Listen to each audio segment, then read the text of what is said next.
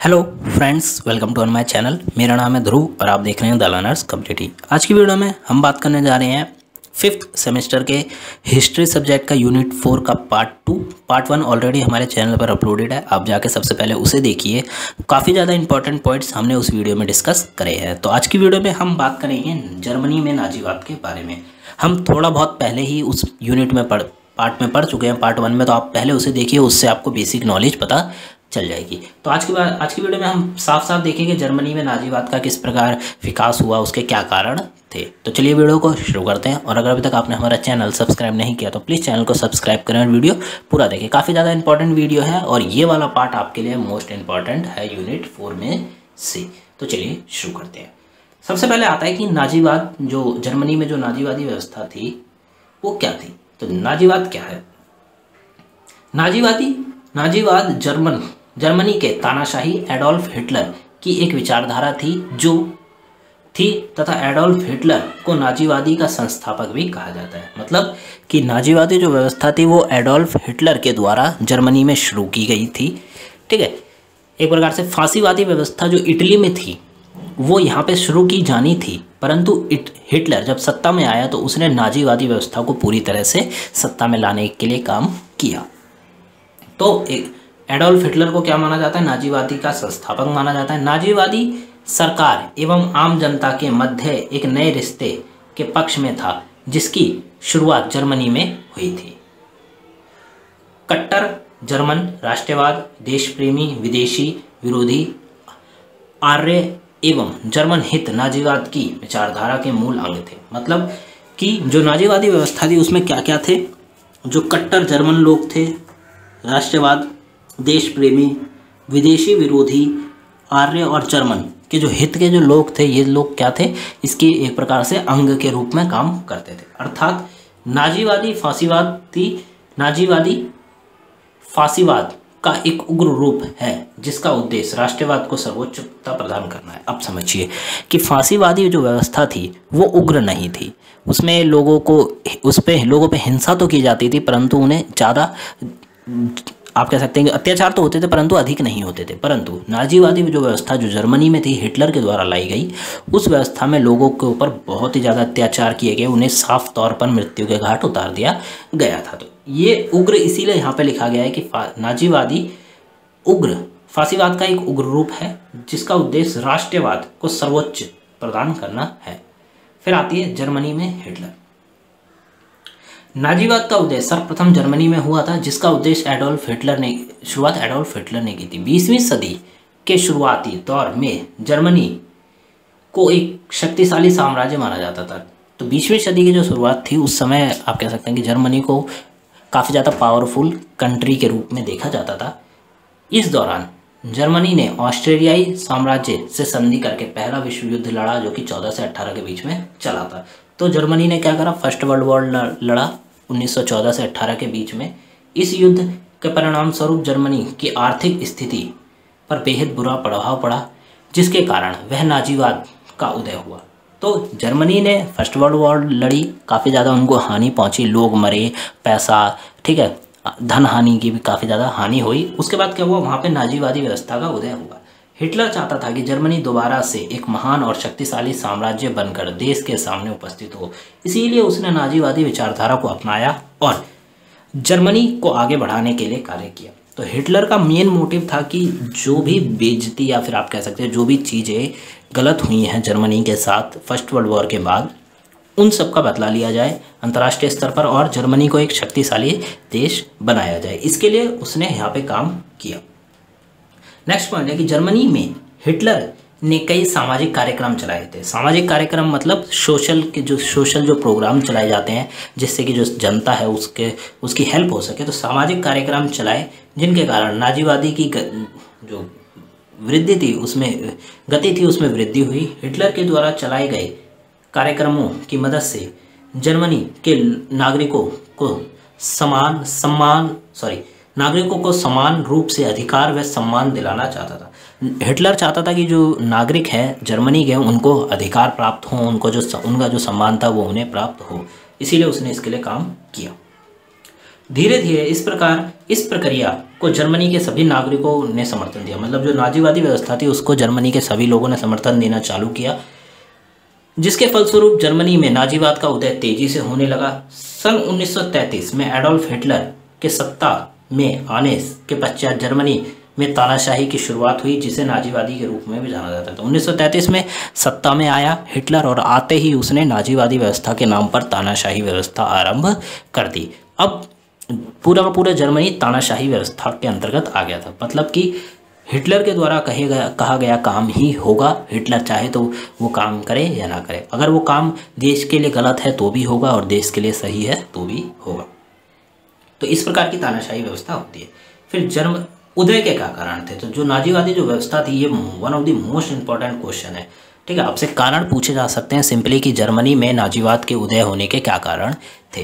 तो पहला कारण था वर्षा की संधि। अब इसको समझिए कि प्रथम विश्व युद्ध के बाद वर्षा की संधि जर्मनी के लिए राष्ट्रीय अपमान का कारण बनी। मतलब कि वर्षा की संधि को राष्ट्रीय अपमान के रूप में देखा गया फ़र्स्ट वर्ल्ड वॉर के बाद।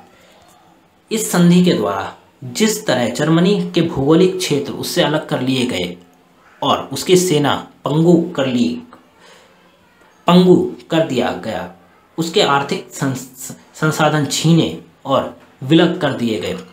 उससे भी बढ़कर संधि की धारा 231 के अनुसार इस, उसे युद्ध अपराधी ठहराया गया। तो आप सुनिए कि क्या हुआ कि फ़र्स्ट वर्ल्ड वॉर के बाद जब वर्षा की संधि की गई तो उस संधि के अकॉर्डिंग जो जर्मनी का काफ़ी हिस्सा है, वो छीन लिया गया था। उसकी जो सेना थी, उसको पंगू कर दिया गया। मतलब ना सेना किसी काम की नहीं रही है वो पूरी तरह से, ठीक है? साथ में जर्मनी के जो संसाधन थे, उन्हें भी छीन लिया गया था फ़र्स्ट वर्ल्ड वॉर के बाद। और सबसे मेन कारण था कि उन्नीस धारा के अंतर्गत जो युद्ध का अपराधी ठहराया गया मतलब जो फ़र्स्ट वर्ल्ड वॉर हुई, उस युद्ध का अपराधी जर्मनी को ठहराया गया। यह सब स्वाभिमानी जर्मन जाति के लिए अत्यंत निराशा लज्जा और राष्ट्रीय अपमान की बात थी। ठीक है तो जो जर्मन के लोग थे, उन लोगों को अपमान झेलना पड़ा था काफ़ी ज़्यादा बिकॉज़ युद्ध का कारण बता देना, किसी किसी व्यक्ति को ये कहना कि आप इस युद्ध के कारण हो, आपकी वजह से ये हुआ तो ये काफ़ी ज़्यादा बड़ी बात हो जाती है। ठीक है तो ये उनके लिए ये काफ़ी ज़्यादा बड़ी बात थी उस समय। तो उनको लज्जा झेलनी पड़ी थी। फिर अपमान की बात थी। जर्मनी जर्मनी के जो युवा थे यह भावना व्यक्त की कि जर्मनी के समस्त संकटों एवं दुखों का एकमात्र कारण वर्षा की संधि है। जर्मनी ने इसे अत्यंत दबाव में स्वीकार किया था। तो अब देखिए। तो जर्मनी के जो युवा लोग थे, वो ये समझते थे कि जो वर्षा की संधि है, वही जर्मनी के अपमान का कारण है। जर्मन, जर्मनी के युवा समझते थे कि जर्मनी का पुनरुद्धार, जो जर्मनी का पुनरुद्धार है, वो हिटलर और उसकी नासी पार्टी ही कर सकती है। मतलब हिटलर ही एक ऐसा व्यक्ति है जो कि जर्मनी का जो अपमान हुआ है, उसको क्या कह सकते हैं आप? कि जो अपमान हुआ है, उस अपमान का बदला ले सकता है। हिटलर और उसके साथियों ने इसका लाभ उठाया वर्षा की संधि का विरोध किया, करना हिटलर के भाषण का प्रमुख तत्व होता था। मतलब जब भी हिटलर भाषण देने जाता था तो वो वर्षा की संधि का पूरी तरह से विरोध करता हुआ दिखाई दिया। आवेश में गरज कर जब वह कहता कि हमें वर्षा की संधि का नाश करना है तो जनसमूह आंदोलित हो उठता। जब भी हिटलर ये कहता कि हमें वर्षा की जो संधि है उसका नाश करना है तो जो लोग उसको सुनने आते थे, वो उत्साहित होते थे, उत्साहित हो जाते थे, आंदोलिकृत हो जाते थे। मतलब आंदोलन करने के तौर पर भी तैयार हो जाते थे। हिटलर के उदय से पूर्व यद्यपि जर्मनी की समस्या काफ़ी सीमा तक कम हो गई थी। ठीक है, हिटलर के बाद क्या हुआ? जो जर्मनी की जो समस्याएँ थी, वो काफ़ी कम हो गई थी। उसे राष्ट्रीय संघ की सदस्य मिल चुकी थी। उसकी भूमि से विदेशी सेना हट चुकी थी। मतलब जर्मनी के जो सेना, जर्मनी की जो भूमि पर विदेशी सेना खड़ी थी फ़र्स्ट वर्ल्ड वॉर के बाद उसको वहाँ से हटा दिया गया। राष्ट्रीय संघ की उसे क्या मिली? सदस्यता मिल गई थी। क्षतिपूर्ति का दायित्व भी लगभग समाप्त हो गया था। किंतु जर्मन लोग, जर्मन के जो लोग थे, वो वर्षा की संधि को अपना अपमान मानते थे। और मन मस्तिष्क से दूर नहीं कर पाए। वे इसका बदला लेना चाहते थे, इसीलिए हिटलर को एक महानायक, हिटलर के रूप में, जर्मनी को क्या चाहिए था? एक महानायक चाहिए था। अब आता है आर्थिक संकट। तो जर्मनी में नाजीवाद का उदय किस प्रकार हुआ? था उसका एक कारण है आर्थिक संकट। प्रथम विश्व युद्ध के दौरान, क्षति की पूर्ति के लिए जर्मनी पर अब छः अरब अड़सठ करोड़ पौंड थोप दिया गया था। अब देखिए कि फ़र्स्ट वर्ल्ड वॉर का जो, आप कह सकते हैं फ़र्स्ट वर्ल्ड वॉर में जितनी भी क्षति हुई तो उसका सारा का सारा बेड़ा किस पर डाला गया? जर्मनी पर डाला गया। तो उसको कितने का, उसको एक प्रकार से उस पर कितना वो लगा दिया गया टैक्स या फिर आप कह सकते हैं पैसा कि छः अरब अड़सठ करोड़ पौंड उस पर थोप दी गई। जर्मनी के उद्योग, व्यापार, खाद्यान्न की क्षति होने पर भी फ्रांस की सेनाओं ने इन पर कब्जा कर लिया। अब क्या हुआ? जर्मनी पर फ़र्स्ट वर्ल्ड वॉर के बाद जर्मनी की काफ़ी ज़्यादा स्थिति खराब हो गई थी तो फ्रांस की सेना ने इस पर कब्जा कर लिया। उसे प्रतिवर्ष 20 करोड़ स्वर्ण मार्क देने थे। सन 1922 में 22 ईस्वी तक उसने दो करोड़ पौंड मित्र देशों को दे दिए। इसके बाद जर्मनी की आर्थिक दशा, मुद्रा, प्रसार, मंदी, ऋण के कारण बहुत गिर गई थी। तो क्या हुआ? जर्मनी की स्थिति जो थी वो काफ़ी ज़्यादा ख़राब हो गई थी, सिंपल सी बात है बिकॉज़ काफ़ी ज़्यादा पैसा पैसा वो दूसरे देश को दे रहे थे, ठीक है? सो उसके स्वर्ण मार्क का जहाँ मूल्य इंग्लैंड में एक पाउंड के बराबर था, वहीं युद्ध काल में उसका इतना अवमूलन हुआ कि नब्बे नब्बे करोड़ मार्क रह गए थे। जर्मनी की बईमार गणतंत्रता की सरकार ने क्षतिपूर्ति राशि कम करने का, की प्रार्थना मित्र देशों से की, परंतु मित्र देशों ने डावेस योजना के अतिरिक्त कुछ नहीं किया। तो आप समझिए। इतना बड़ा पॉइंट है, इसको समझिए कि फ़र्स्ट वर्ल्ड वॉर के बाद जितनी भी जो आप कह सकते हैं कि कार जर्मनी को युद्ध का कारण माना गया था लोगों के द्वारा सभी विश्व के द्वारा तो जर्मनी को कारण मानते हुए जर्मनी पर पैसा थोप दिया गया कि आपको छः अरब अड़सठ करोड़ रुपए भरना है बिकॉज़ आपकी वजह से युद्ध हुआ है। इतना। ठीक है, साथ में एक ये भी हुआ कि उससे समझौता कर लिया गया कि आपको स्वर्ण मार्क देने होंगे। तो सन 1922 तक उसने दो करोड़ जो पौंड थे, वो मित्र राष्ट्र को दे दिए थे। अब इतना पैसा दे दिया तो जर्मनी के पास खुद ही समस्याओं का समस्या उनके सामने सामने खड़े होने लग गई थी, समस्याएँ कि अब जनता में बेरोजगारी आ गई है। खाने की जो चीज़ें हैं वो ख़त्म हो गई हैं। तो इसके कारण फ्रांस ने उसकी कई सारे हिस्सों पर भी कब्जा कर लिया था। तो इस प्रकार की स्थिति वहाँ के सामने लोगों के सामने आ गई थी। तो इसी कारण वहाँ पे क्या नाजीवादी व्यवस्था का भी, नाजीवादी व्यवस्था आई। जर्मनी जर्मनी जाति की श्रेष्ठता का अभियान। हिटलर ने अपने कारागार वाले समय में एक पुस्तक लिखी थी जिसका नाम मेरा संघर्ष या फिर माई स्ट्रगल था। इस पुस्तक में जर्मन जाति को आर्यों की नस्ल बताकर जर्मन जाति की श्रेष्ठता को स्थापित किया गया था। तो इस बुक के अंदर ये बताया गया कि जो जर्मन के जो लोग हैं, उनकी जाति क्या है? आर्य। और वो सर्वोच्च है। इस प्रकार की बातें उस किताब में की गई। जर्मन जाति शुद्ध आर्य है तथा समस्त विश्व प्रशासन करने के लिए ही जन्मी है। तो उस बुक में ये भी बताया गया कि जो जर्मन की जो जाति है, वो सम, शुद्ध आर्य जाति है और उसका जन्म इसलिए हुआ है ताकि वो पूरे विश्व पर कब्जा कर सके और उस पर शासन कर सके। इस प्रकार की बातें उस बुक में लिखी गई थी। इस प्रकार की विचारधारा का हिटलर ने बड़े ही ज़ोर शोर से प्रचार किया हिटलर का कथन था कि लोग को जर्मन कहा जाता, कहा जा सकता है। उन्हीं लोगों को जर्मन कहा जा सकता है जिनकी धमनियों में आर्य रक्त का संचार हो। मतलब कि उन्हीं लोगों को जर्मनी का, जर्मन का, जर्मन कहा जाएगा जिन लोगों के अंदर आर्य का खून हो, आर्य का खून हो। जर्मनी जर्मनी में रहने वाले अन्य व्यक्ति देश के लिए कितना भी त्याग करे वे जर्मन स्वीकार नहीं किया जा सकता, उन्हें जर्मन नहीं माना जा सकता। जर्मन जाति को कोई भी संधि अपमानित नहीं कर सकती। विश्व में जर्मन जाति ही श्रेष्ठ जाति है। इस भावना के कारण हिटलर ने नाजी दल के ध्वज पर आर्य, नाजी दल के ध्वज पर प्राचीन आर्य का प्रतीक, स्वास्तिक चिन्ह अंकित किया था। अब देखिए। अब समझिए कि जो जर्मन की जो जाति है, वो सर्वश्रेष्ठ सर्वश्रेष्ठ मानी जाती थी जर्मनी में, क्योंकि हिटलर ने इसका बहुत ज़्यादा प्रचार और प्रसार किया था। हिटलर चाहता था कि पूरे विश्व पर किसका जर्मनी का ही कब्जा हो, उसी का शासन हो। तो इसके लिए उसने क्या करा? कई सारे काम करे, जैसे कि जो जर्मनी का आप नाजीवादी व्यवस्था का जो झंडा देखेंगे, वहाँ पे आप देखेंगे, स्वास्तिक का चिन्ह आपको देखने को मिलता है। ठीक है, स्वास्तिक का चिन्ह देखने को मिलता है जर्मनी में। नाजीवादी व्यवस्था के अंतर्गत।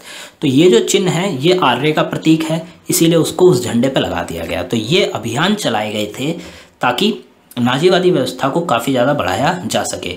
और ये सफल, ये कारण सफल भी हुए नाजीवादी व्यवस्था का काफ़ी ज़्यादा, आप कह सकते हैं, विकास भी हुआ।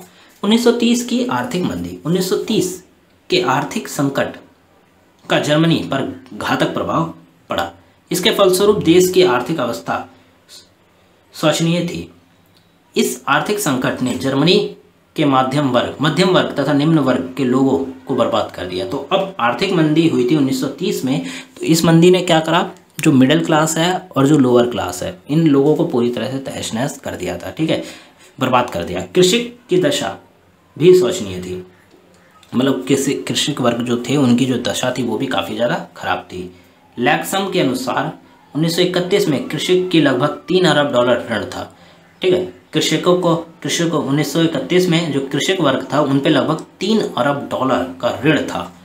नाजी दल ने कृषकों को ऋण से मुक्त दिलाने का आश्वासन दिया, जिससे कृषक वर्ग भी नाजी दल की ओर आकर्षित हुआ। अब नाजी का जो दल था, उन्होंने कहा किसानों से ये कहा कि आपका जो भी ऋण है, जो लोन है आपके सर पर, वो हम चुकता करेंगे।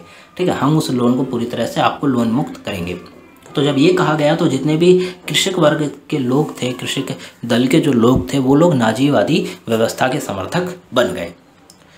शुरमा के अनुसार आर्थिक संकट ने 60 लाख व्यक्तियों को बेरोजगार कर दिया। उनके उनके दिवालियेपन और निर्धारित निर्धनता को बढ़ा दिया। हिटलर ने बेरोजगारी लोगों को रोज़गार देने का आश्वासन दिया, जिससे बेरोजगार लोग नाजीवादी का समर्थन हो गए। तो हिटलर ने केवल वादे ही किए थे, आप कह सकते हैं। उसने बेरोजगारों से कहा कि हम आपको रोज़गार दिलाएँगे, किसानों से कहा कि हम आपको लोन मुक्त, जो ऋण मुक्त है, वो करेंगे। इस प्रकार के वादे किए।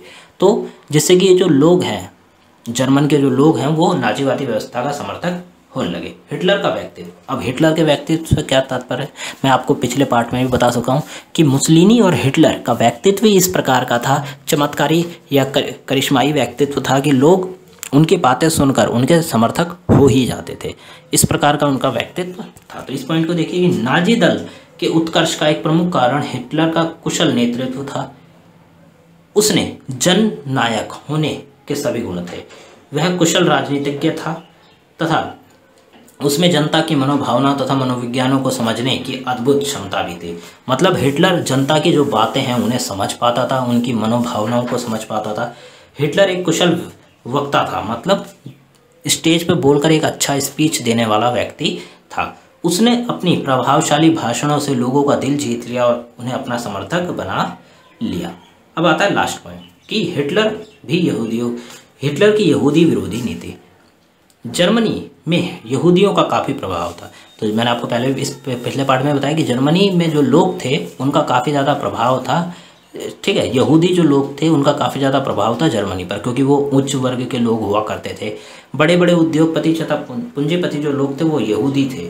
ये लोग उच्च पदों पर भी नियुक्त थे। ये लोग जर्मन लोगों का शोषण करते थे। अंत जर्मन लोगों ने यहूदियों के प्रति आक्रोश था। तो जर्मन के जो लोग थे वो चाहते थे कि यहूदियों को पूरी तरह से यहाँ से हटा दिया जाए बिकॉज़ ये लोग उनका शोषण करते हैं।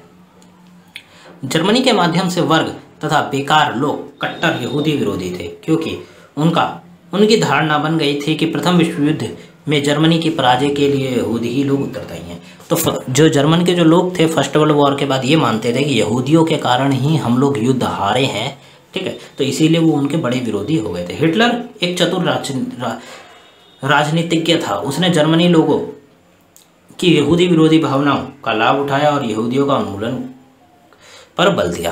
तो हिटलर तो जानता ही था कि यहूदियों को हटा देंगे तो जो जनता है वो मेरी बात ज़्यादा से ज़्यादा मानेगी, समर्थक बनेगी। तो इसीलिए उसने यहूदी विरोधी आंदोलन को शुरू किया, यहूदियों को हटाना आरंभ कर दिया। तो जिससे क्या हुआ, जनता और ज़्यादा हिटलर के समर्थक बन गई। तो ये था आपका पूरा का पूरा नाजीवादी व्यवस्था के बारे में, ठीक है, जो कि हमने मैं आपको बताया कि नाजीवादी व्यवस्था किस प्रकार की है, उसका किस प्रकार विकास हुआ और उसके क्या कारण है, ठीक है।